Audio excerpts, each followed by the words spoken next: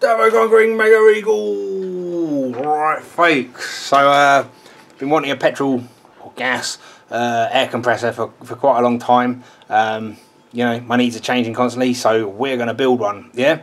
Um, okay, we got about, uh, I don't know, um, 400 quid worth of bits here.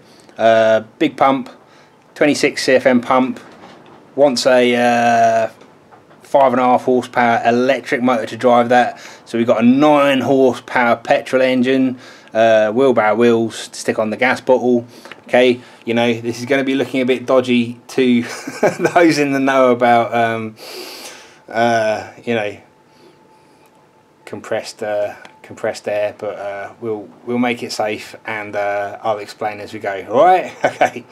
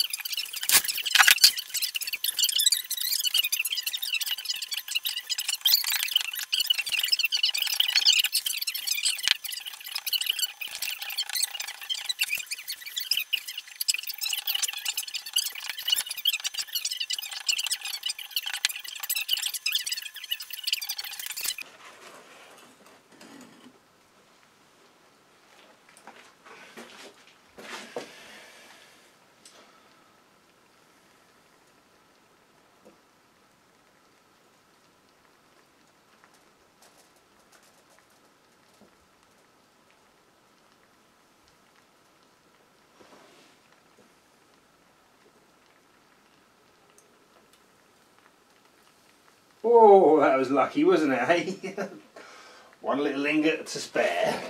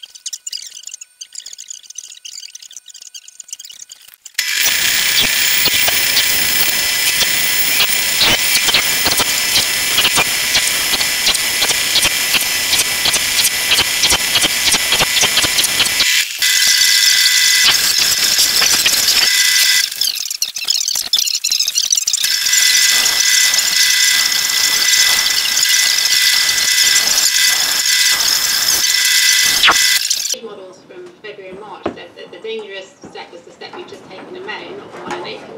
What I said was that did there you had mean by been the an increase. I, I said that there had been an increase in cases in March in schools. We didn't, we haven't seen that today since April, and I suspect that's because community transmission actually did drop a lot over Easter, which is really good news.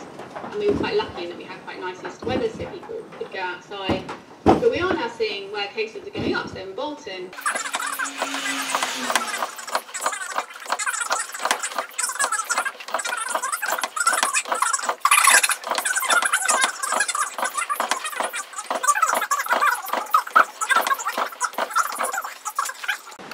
philosophies and ideals subvert the nation, but because behind them there's always these scheming guilds and uh, secretive organisations. All of this stuff is what the Caesar men are just going to wipe kind of setting this system up to justify the things that they've done. You know, they start repressing the Uyghurs in Xinjiang, and then they slowly set up a system where now you retroactively make it legal through, you know, different ways, legal mechanisms, things like that. And this kind of uh, policy extends pretty far, like the, the Coast Guard law that came out with recently, that basically allows, they're giving justification for the Chinese Coast Guard to essentially take over disputed territorial waters in the South China Sea. Right, and and it gives them a, a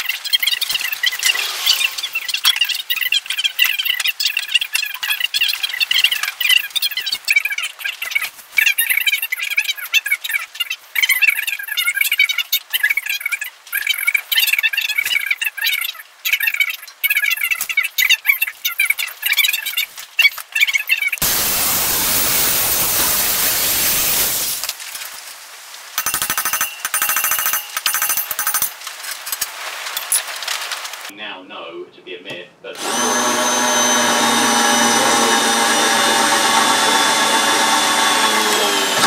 Japanese carriers, and that's, uh, what I understand, you know, what are you gonna actually accomplish? Okay, I go, I go to Midway. I don't really have any sort of a formal gunfire support doctrine for getting my troops ashore. Um, if there's anything that Americans learned from doing those sorts of bombardments of heavily fortified, and so we get to a lot of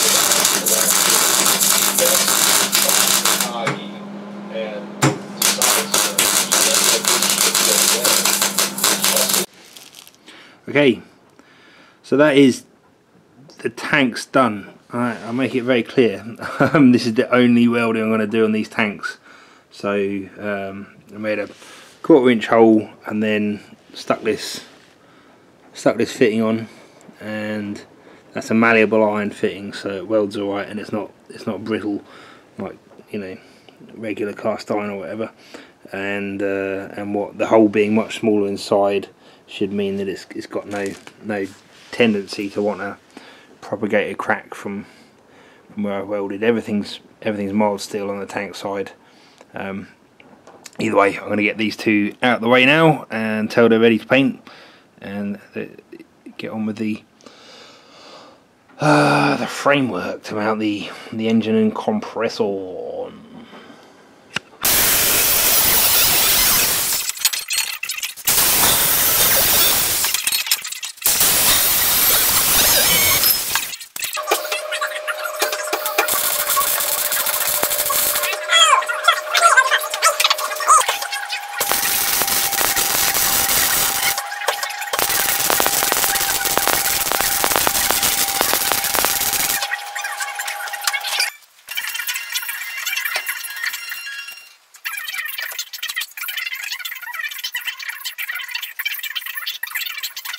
clearly lost credibility in a warrior society with decisive defeat in open combat, where the odds are heavily in their favour.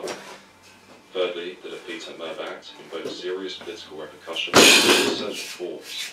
The faith in the younger fighters in their leaders.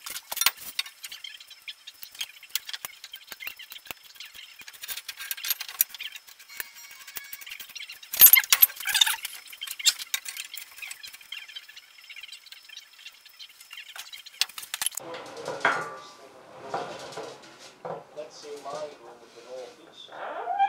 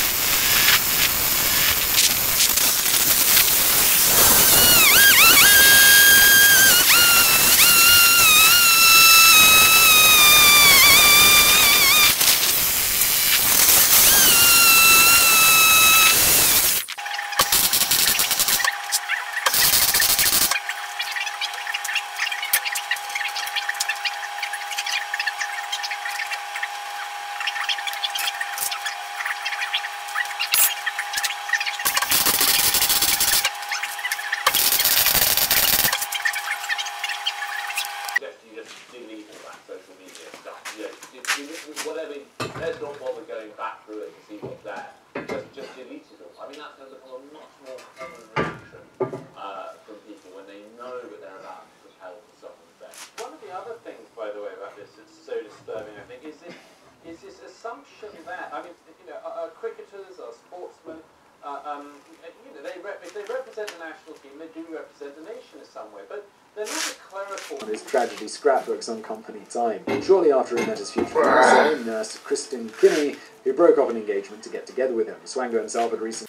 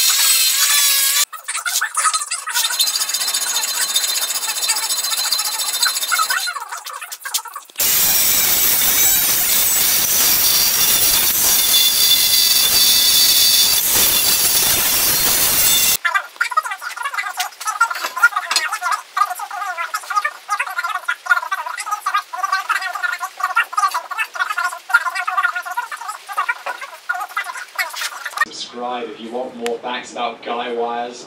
That's that Wikipedia page. Thank you for watching.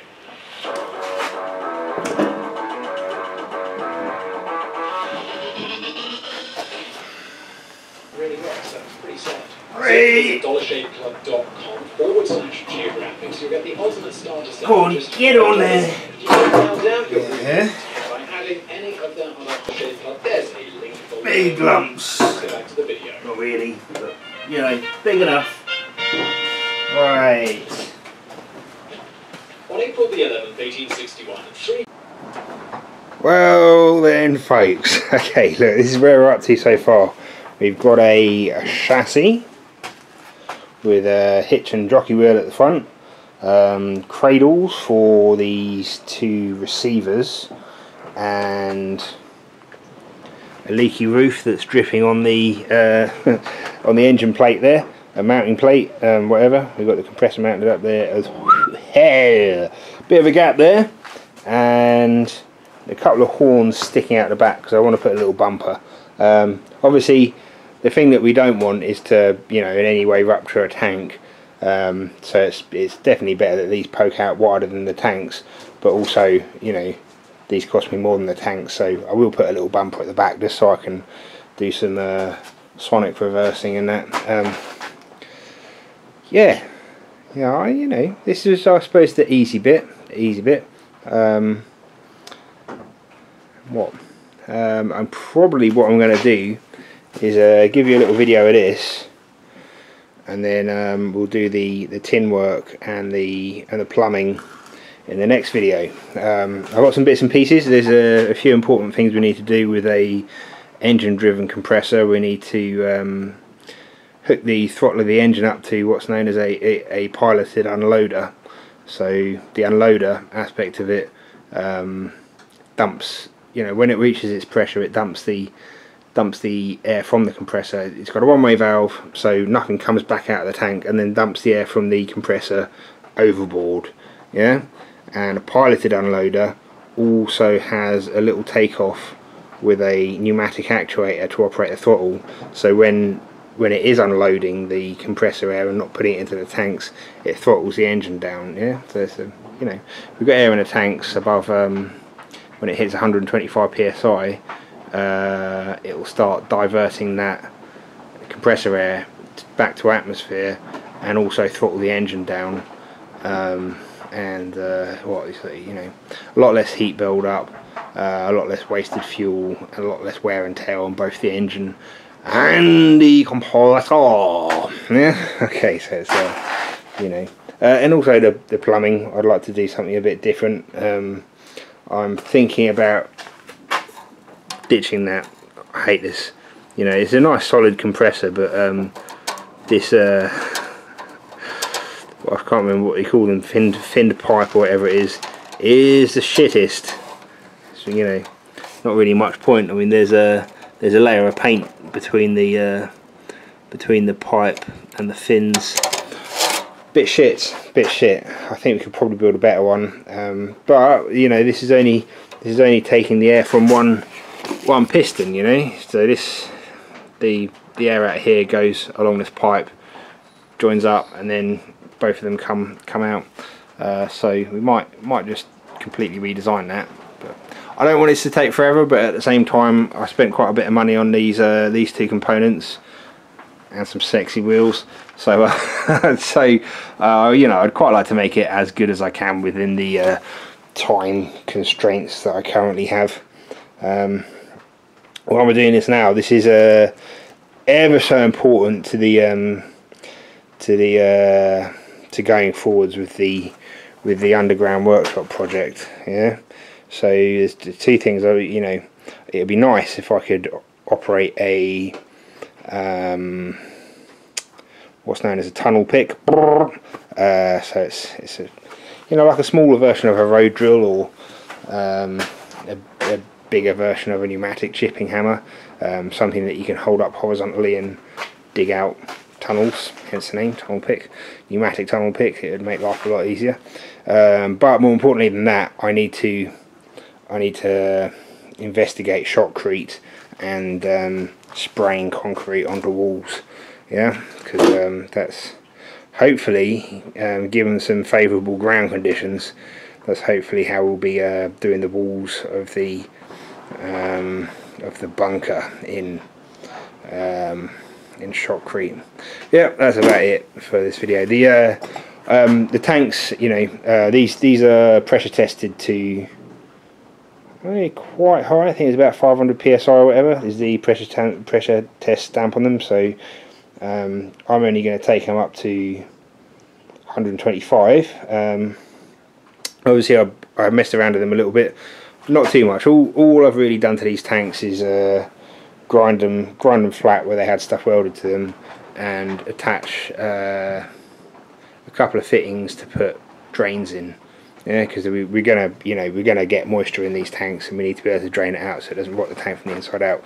I've not gone mad on taking the old paint off because um, they're galvanised, um, and you know, um, I don't want it in my lungs, and it's nice to keep it for protection. So. Uh, um, yeah, we kept as much of that as possible.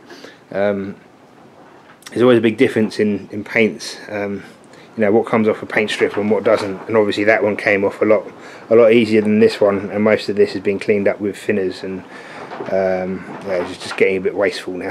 so, so I'm probably just going to prime straight over the top of that. That'll be alright though. I mean, um, you know, it's nice to know that there's a, uh, a layer of zinc underneath the paint, isn't it? Um, chassis is pretty simple there.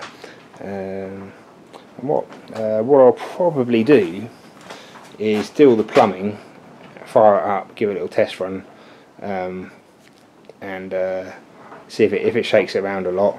Then we're going to have a bumper on the back or a fender, and uh, I'll put a couple of little outriggers at the end of that if it's uh, flapping around all over the place. I'd rather not. Um, just nice to keep it simple, but uh, you know if it needs it it needs it doesn't it all right and then we'll um, we'll put a nice uh, nice lid on it make it out of steel and do something uh, I don't know sort of 1950s industrial chic I suppose. Alright okay. Arcing trains. Yeah go on. Um, well that's that's going to be it for today then folks and uh, and what? Hopefully this weather lets up when I can get back in the hole. Um, and uh, what? Take it easy guys as always you know just favour just favour mate. Uh, hit the like button and uh, help me help me get my videos out. Help me get those shekels coming in and uh, that will pay for more fun things in the uh, in the um, underground workshop bunker. Alright okay. Take care folks. See you again. Bye bye